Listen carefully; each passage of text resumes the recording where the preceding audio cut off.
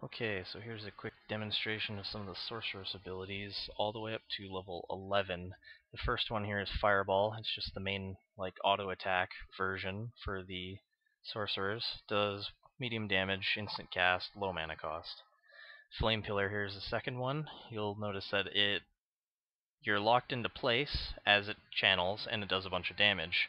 However, it does cast in front of your character, not in the direction you're aiming, as you can see.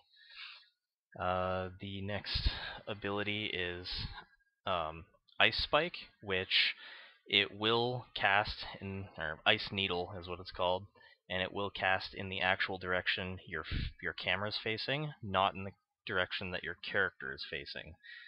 One of the several abilities that will change your character's aim.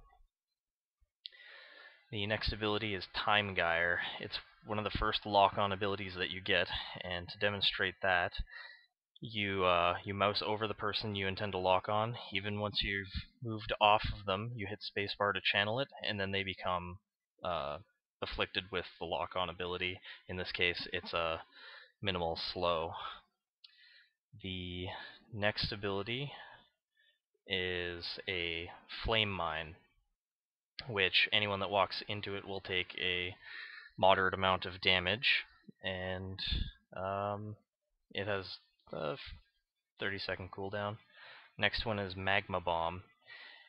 Magma Bomb is cast 10 feet directly in front of your character, and that is not going to adjust direction based on where your camera is facing, just based on where your character is facing, like so. And uh, that is more or less all of the abilities except for this one. It's uh, basically a mana infusion. It gives you mana every little every two seconds and restores it for up to 25 seconds. It will not drop off uh, even when entering combat, so it's a good restorative ability when you drop out of combat, although it does have a 5 second channel.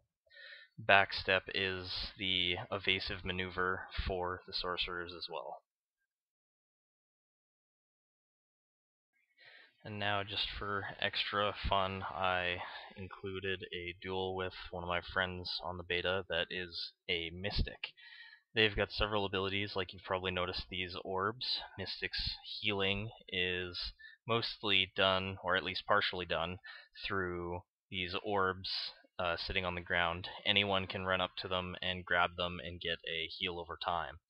So that's one of the things. They also get these uh, pets that um, they're not very strong, but they they do uh, they do have a lot of health, provide a great distraction.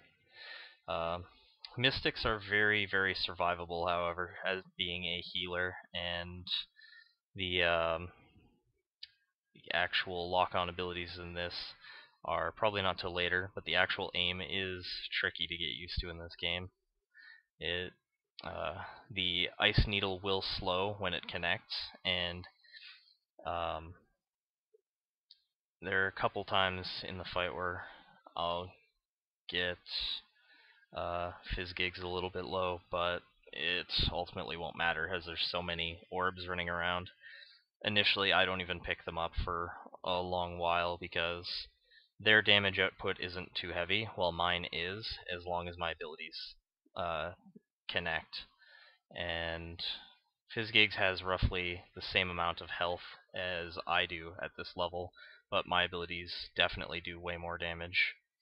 However, Flame Pillar being very melee based, as well as the bomb being a 10 yard range, kind of relies on me being closer to my opponent, as well as the uh, having to stay still through the channel of the flame pillar and the magma launcher's um, very large dead zone in between causes it to be a little harder to hit players.